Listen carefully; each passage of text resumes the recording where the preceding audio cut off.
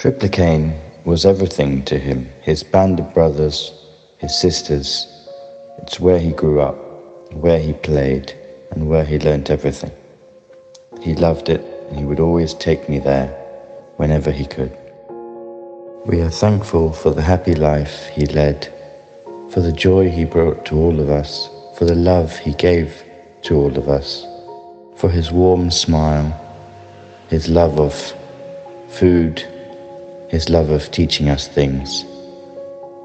Grief is the unexpressed love, the grief that remains with us, because we never have enough time with those we love.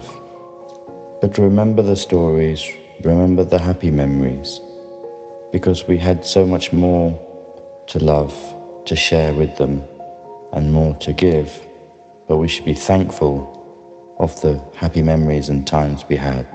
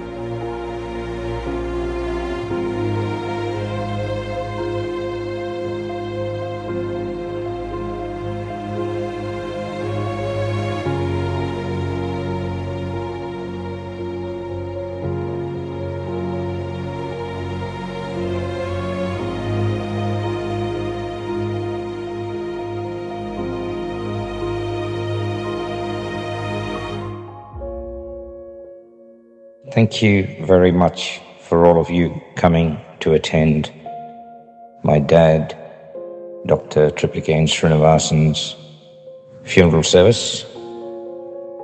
My dad was 91 years old when he passed away, very peacefully. And today marks the ceremony where we are going to talk about his life. Uh, which for 91 years has a lot of very key highlights and goodness. Hope you all enjoy today's funeral service. On behalf of my brothers and I, we thank you very much to all of you attending, both in person and online via the web link. Thank you and God bless you all.